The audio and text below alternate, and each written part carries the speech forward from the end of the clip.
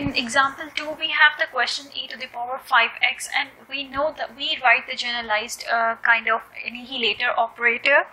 And that is d minus alpha to the power n y equals to 0. So um, n is basically related to it's all concerned about the highest power of x. And whatever the highest power of x you have to add 1 to it and that makes it n. So differential operator remember that differential operator is always one power higher than the uh, highest power of x. So here uh, we have to find out, we have to find the annihilator operator of this e to the power alpha x. Alpha here is 5. So we can definitely see alpha is 5. Now what about the n? N can be derived with the fact that e to the power 5x has the multiplying term 1.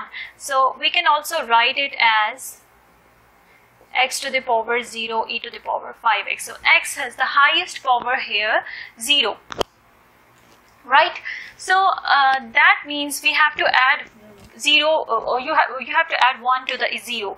So from that we can um, judge that n here is 1. So its annihilator operator is d minus alpha is 5 to the power 1 and y is here the function y equals to e to the power 5x. So that means it is e to the power 5x equals to 0. So this is the annihilator operator for the function y equals to e to the power 5x.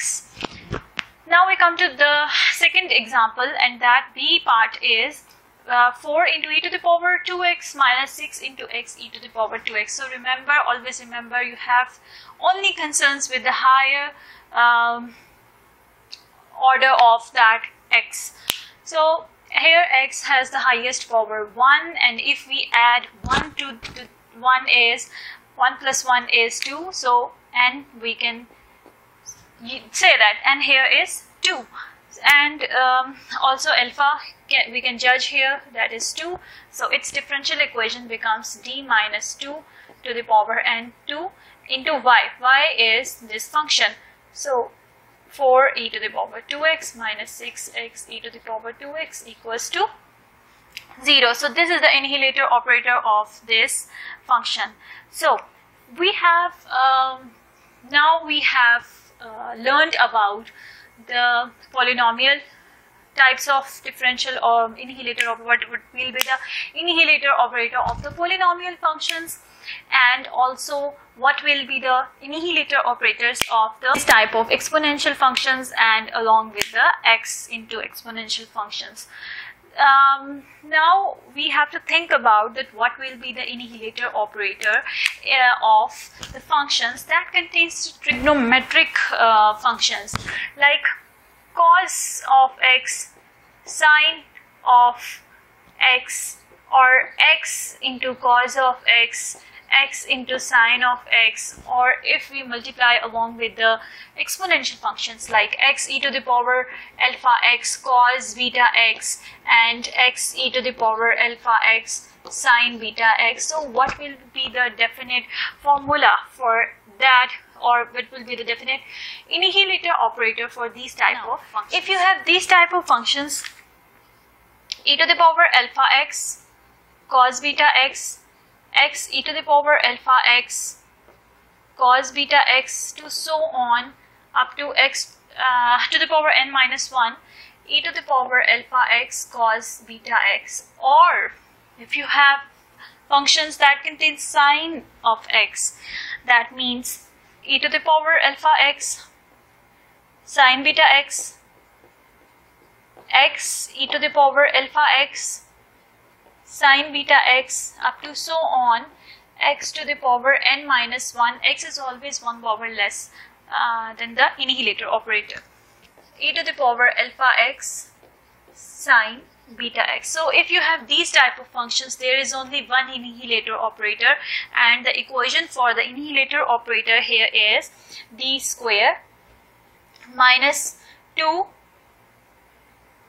alpha d plus alpha square plus beta square to the power n. So this is the annihilator operator for each type of these functions. If you have any functions among these all functions, the annihilator operator is this. So uh, we will do the examples for these type of functions. So first example is, that is example number 3. First example is construct, you have to construct uh, that if alpha is minus 1, beta is given 2 and n is given 1.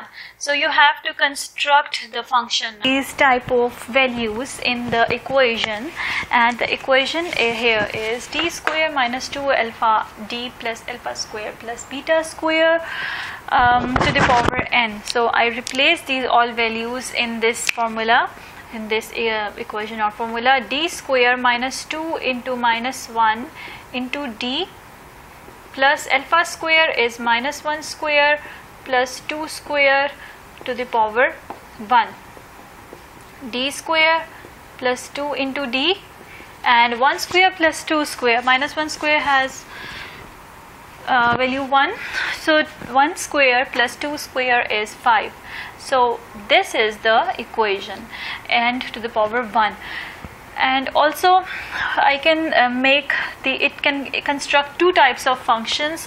One type is e to the power because n here is 1 that means there will be no x. x to the power 0 so that makes it um, there is no x. And e to the power alpha x means e to the power minus x alpha minus 1 into cos of beta x. Beta here is 2 so 2x and the other solution is e to the power minus x sine 2x. It means that it is y1 and it is y2 and these both are linearly independent functions. And from this equation we can construct auxiliary equation. And auxiliary equation can be m square plus 2m plus 5 equals to 0 so what makes it 5? You can use any technique for that. Okay, now I am going to verify the true values of alpha and beta with the help of this annihilator operator and auxiliary equation. First, I will make its auxiliary equation that is m square plus 2m plus 5 and m uh, I'm using this uh, quadratic formula for that and here is b is minus 2 plus minus 4, 2 square is 4 minus 4 into a is 1 and c is 5 so that makes it minus 2 plus minus under root 4 minus 20 divided by 2 that 4 minus 20 is minus under root 16 and 16 has the under root 4 so minus 1 is basically iota. So that makes it minus 2 plus minus 4 iota by 2 okay. Uh, one by one I divide the two uh, factor and so that makes it minus 1 plus minus 2 iota. That makes it uh, two roots. That falls into the case 3 that is minus 2 iota. From that I can uh, extract the values of alpha and that is minus 1 and beta is 2 so that makes that proves that our given uh, formula this formula is a true formula and it verifies the values of alpha beta and n. Number 4 and this example is when alpha is 0 and beta is 1 and n is 2 what will be the um, formula for that? So d square minus 2 alpha d plus alpha square beta square to the power n. So d square minus 2 into 0 into 0 into d plus 0 square plus 1 square to the power 2. That makes it d square plus 1. So that case is a very simple case and um, that means d square plus 1 into d square plus 1 so it arises that if you have no alpha it means you have no exponential term e to the power alpha x. And n means that you have x only x 2 minus 1 is x to the power 1 so that constructs uh, two roots. That means x cos and beta is 1 cos of x and x sine of so that is all about annihilator and if you have finite sum of two different annihilator like two different functions so what will be its annihilator operator? Like example number 5 is that if you have two different types of functions like 7 minus x plus, uh, 6 sine of 3x so uh, it falls into the different two parts. One is a linear and uh, polynomial function and other is the sine trigonometric function. So for first different uh, annihilator operator is x to the power 1 means one order greater. So d square of 7 minus x equals to 0 and second has um, there is no alpha.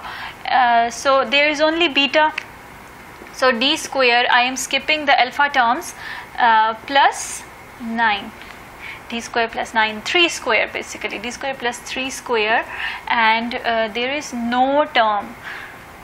Yes there is no term. So d square plus 9 into sine of 3x equals to 0 so there are different operators. And now we can combine this operator that d square d square plus 9 annihilates the equation is y. So this is the annihilator operator of this equation, this function.